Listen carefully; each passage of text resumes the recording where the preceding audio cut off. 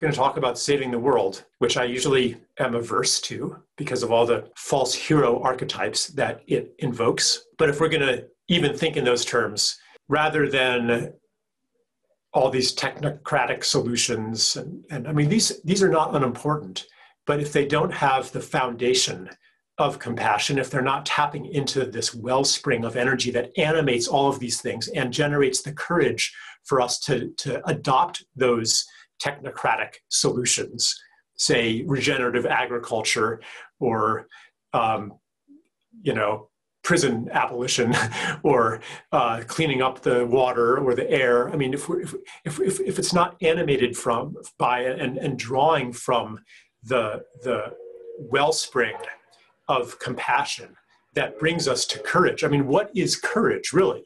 We can talk about uh, being from the heart, but what has to happen for us to really act from the heart? Some kind of healing has to happen.